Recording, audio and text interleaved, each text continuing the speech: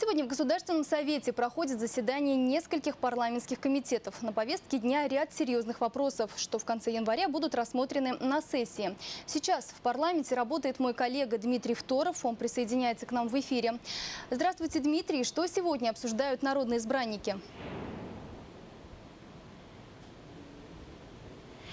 Добрый день, Айгуль. Повестки дня во всех депутатских объединениях достаточно насыщены. Так, Комитет по законности и правопорядку, который завершился буквально только что, сегодня рассмотрел несколько федеральных законопроектов, рекомендовал скорректировать республиканский кодекс об административных правонарушениях, чтобы привести его в соответствие с аналогичным российским, и не без дискуссии рассмотрел кандидатов в квалификационную коллегию судей республики.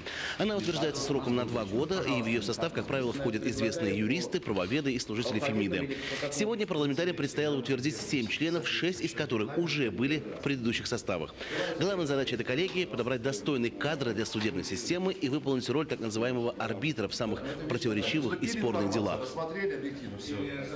Они имеют право досрочно прекратить полномочия судьи при наличии на то достаточных оснований. То есть они вот 7 и плюс еще 14, которые назначаются от судей общей юрисдикции, от мировых судей, от арбитражных судей, от президента, представителей, они как бы могут решить судьбу судьи и, соответственно, прекратить досрочно его полномочия как судьи.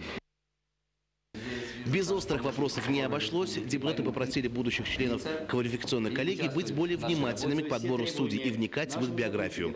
Были случаи, когда парламенту предлагали утвердить в должности мирового судьи человека, который систематически нарушал правила дорожного движения. Абсолютно, говорю, да, соответствует и все. Значит, нету никакой у вас элементарно вот это вот э, смотреть, что, кого вы принимаете, кого пропускаете. Приходится нам уже на нашем уровне, после вас, после президента здесь останавливать. Но это некрасиво. В итоге все семь персоналей прошли предварительный отбор, и теперь их должна утвердить сессия Госсовета в конце января. О том, насколько эффективно используются министерствами энергоресурсы, сейчас речь идет на Комитете по экономике, инвестициям и предпринимательству, а на заседании Комитета по культуре, науке и образованию и национальным вопросам, который также проходит здесь, в парламенте, в эти минуты. Центральная тема – проверка целевого использования бюджетных ассигнований, выделенных на строительство и ремонт детских садов.